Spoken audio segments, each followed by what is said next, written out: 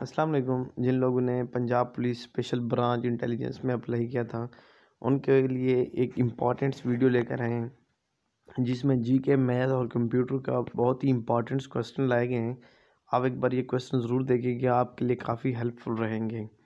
पहला क्वेश्चन है which element is called the black diamond option C ठीक है, कॉल। नेक्स्ट क्वेश्चन है कि Uh, which country is the constitution is the longest written constitution in the world? Option हमारे पास B ठीक है इंडिया ठीक है हमारे पास ऑप्शन बी ठीक है इंडिया नेक्स्ट क्वेश्चन है हमारे पास. नेक्स्ट क्वेश्चन है Lok Sabha Lok Sabha is the largest assembly of which country Lok Sabha किसकी सबसे बड़ी कंट्री है? ऑप्शन हमारे पास ए ठीक है लोकसभा इंडिया को कौमी असम्बली को कहते हैं।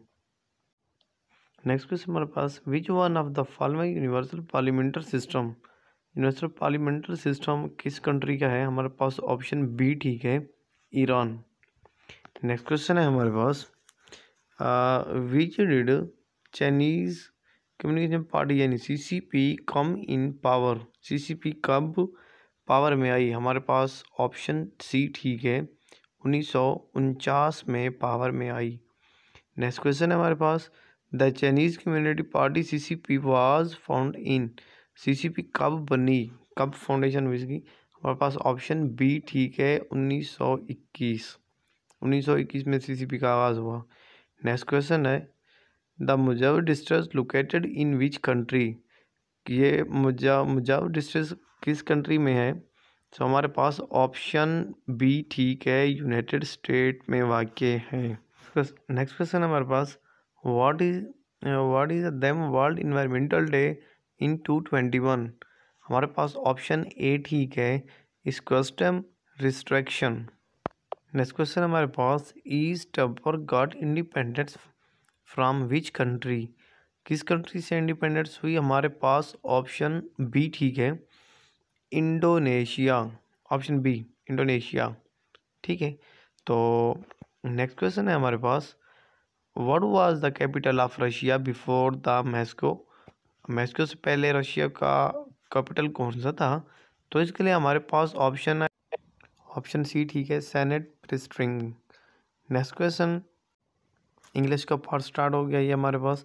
जो पहले स्टार्ट कर रहे थे वो जी के था। ठीक है पहला क्वेश्चन है antonym of artificial option D ठीक है। आर्टिफिशियल का जो एंटोनियम होता है, वो नेचुरल होता है। Next question the antonym of इनोरोमियासिस dash तो हमारे पास ऑप्शन सी ठीक है टीनी ठीक है।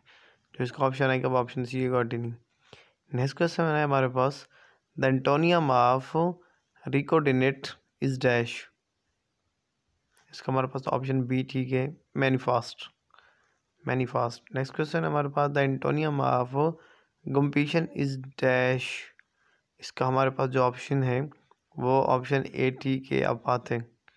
नेक्स्ट क्वेश्चन हमारे पास द एंटोनियम ऑफ़ पी कोई इज़ डैश इसका जो हमारे पास ऑप्शन है, वो ऑप्शन सी टी के जॉय नेक्स्ट क्वेश्चन है हमारे पास the antonym of sartorial is dash option A T के हमोस्पॉन नेक्स्ट क्वेश्चन है the antonym of dorsal is dash.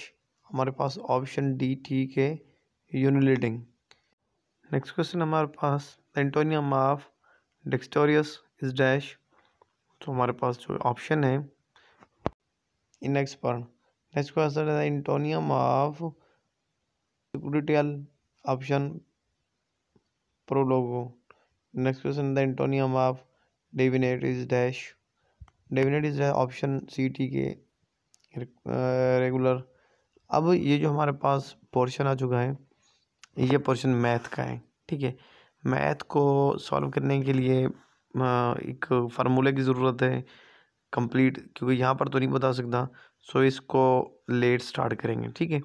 अगला पोर्शन स्टार्ट करते हैं, वो है हमारा पास कंप्यूटर मैथ को बाद में स्टार्ट करते हैं, जो मैथ का पोर्शन है, वो इसके बाद स्टार्ट करते हैं, ठीक है?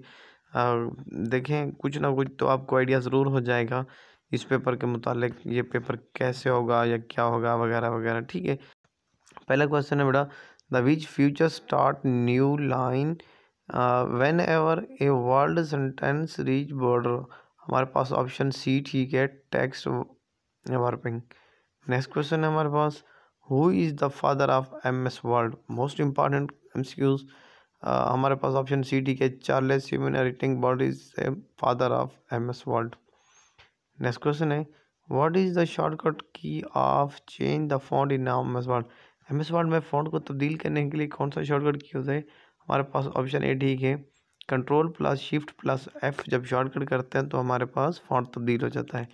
नेक्स्ट क्वेश्चन है what is the smallest and largest font size of सबसे बड़ा और सबसे छोटा हमारे पास ऑप्शन सी ठीक है ठीक है ऑप्शन सी ठीक है एट सबसे छोटा एंड सेवेंटी टू सबसे लार्ज नेक्स्ट क्वेश्चन हमारे पास which of the following can't be use to negative documents option B hyperlinks ठीक है नेविगेशन डॉक्यूमेंट्स के लिए जो हमाल करते हैं वो हाइपर लिंक्स होता है।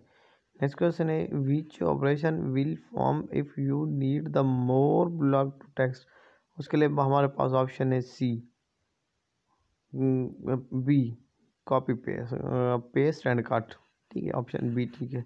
नेक्स्ट क्वेश्चन है control plus G shortcut key control plus G हमेशा अंडू के लिए यूज़ होता है।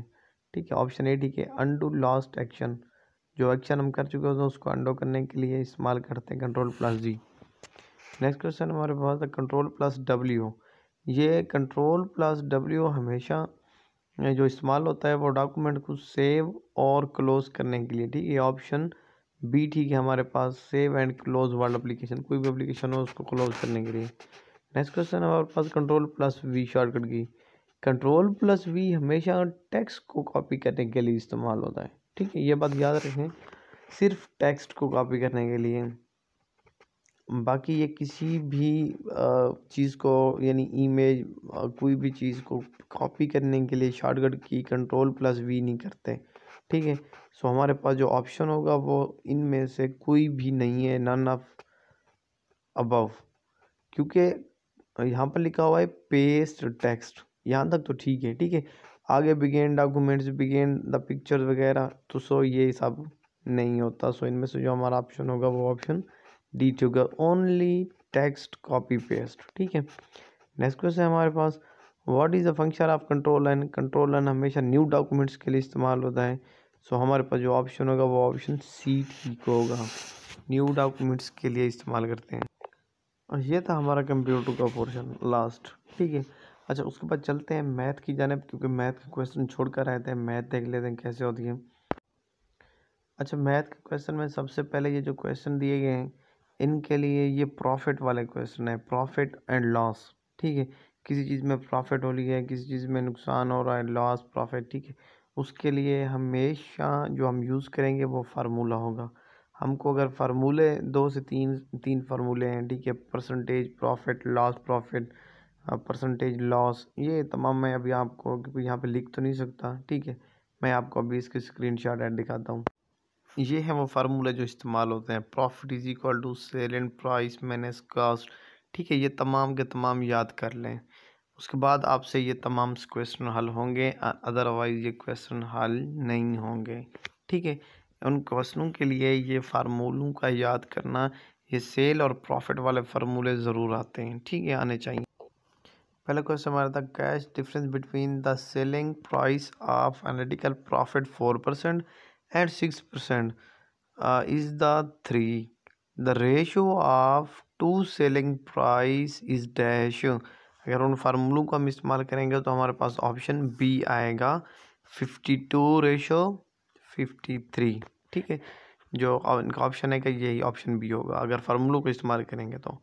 नेक्स्ट क्वेश्चन है if the five percent more than the sign selling article in three fifty rupees and three forty rupees the cost of article is dash so हमारे पास जो option होगा, वो ऑप्शन सी ठीक होगा।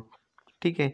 उन्हीं फार्मूलों को इस्तेमाल करते हुए हम ये ऑप्शन निकालेंगे हमारे पास निकलेगा दो सौ रुपये उसके बाद नेक्स्ट क्वेश्चन है हमारे पास, the cash difference between the selling price and article four percent, six percent and three percent ratio between selling. ये वो पिछला बाइक वाला सवाल है, बैग जो हुआ।